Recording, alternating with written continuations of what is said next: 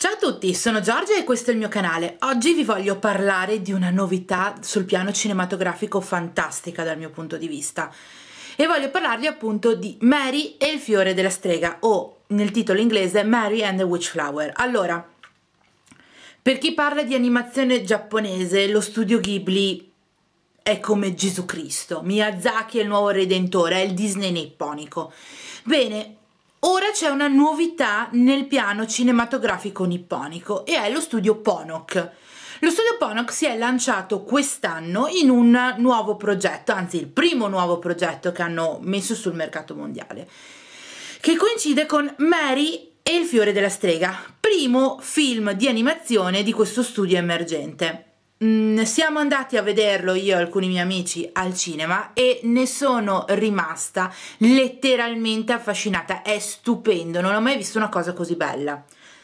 Partiamo sulla scheda un po', cioè partiamo con i tecnicismi, scusate, di questo film.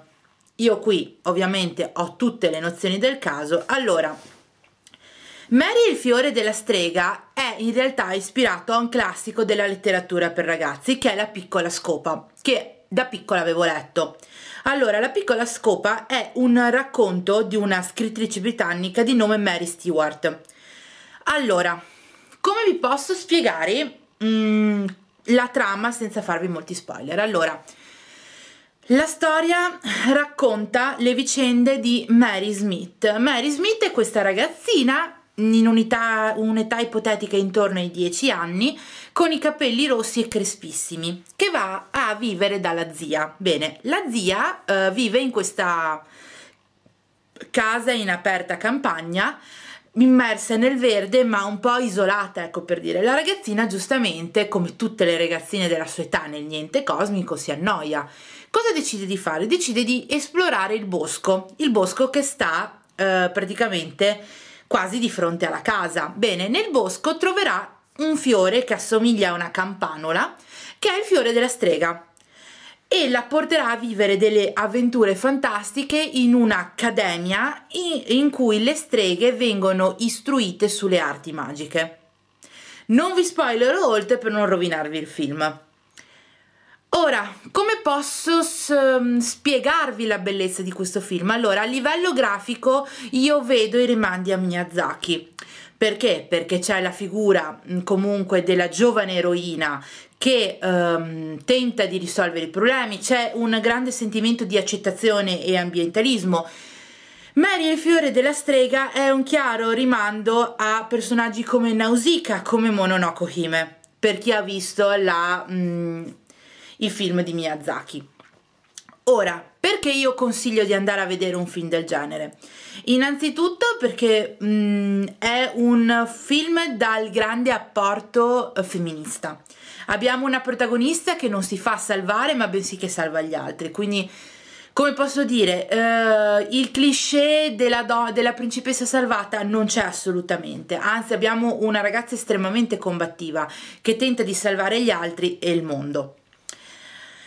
Eh, graficamente devo dire che mi ricorda molto anche per alcune uh, immagini, alcune sequenze, un altro capolavoro dello studio Ghibli che è Kiki consegna a domicilio, in quanto abbiamo comunque una ragazza, una streghetta praticamente a cavallo di una scopa e un gatto anche se in questo caso il gatto nero non è il classico Gigi tanto caro all'animazione miyazakiana ma bensì un gatto molto peloso tutto nero molto carino e con leggermente arcigno ecco per dire negli antagonisti io rivedo comunque figure anche lì eh, che si ripresentano in altri film di Miyazaki, quindi l'antagonista, la strega che comanda l'accademia in cui la nostra protagonista eh, va a finire, mi ricorda molto la vecchia strega Baba della città incantata o un, anche una, um, la strega madre della, um, della, favola, anzi del film di animazione,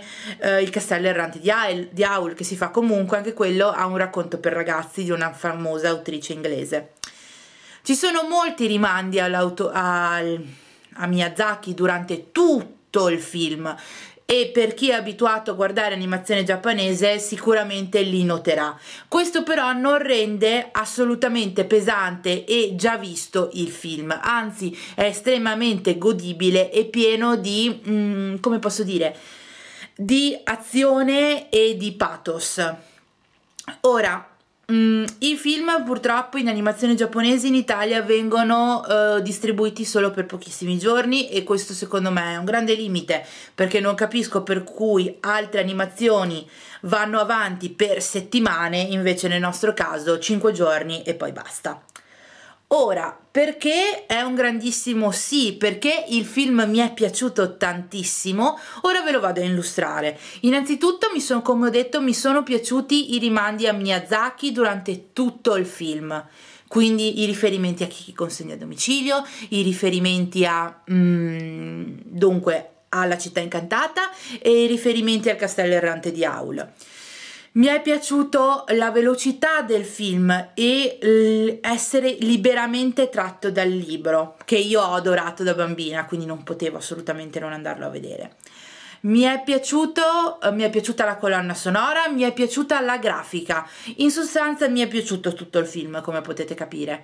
Lo consiglio a un po' a un pubblico di tutte le età, quindi sia ai bambini Uh, di, che fanno le elementari perché lo troveranno estremamente bello e godibile sia a ragazzi più grandi o adulti della mia età che hanno già visto i capolavori di Miyazaki e ritroveranno secondo me in qualunque produzione dello studio Ponok un rimando allo studio Ghibli. Quindi assolutamente godibilissimo dal mio punto di vista poi che dire, mm, come, possiamo come posso dirvi guardando da qui, Mary and the, Witch, uh, and the Witch Flower ha ricevuto un'accoglienza molto mm, sentita, non si vedeva tanta gente al cinema da Mononoke Hime, quindi ci sarà un motivo.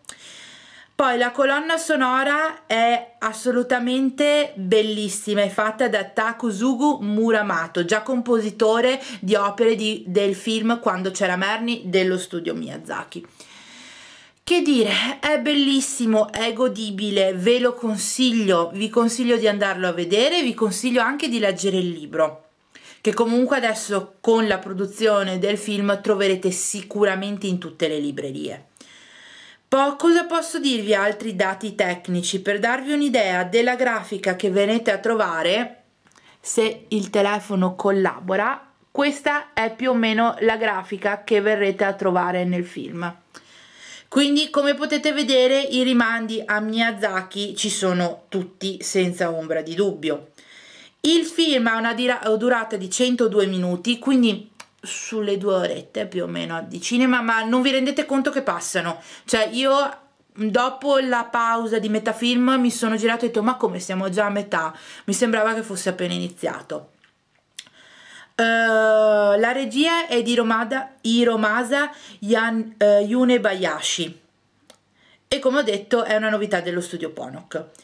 Bene ragazzi, la recensione flash è finita, non ho voluto farla particolarmente lunga e non mi sono voluta ulteriormente dilungare per non rovinarvi il film.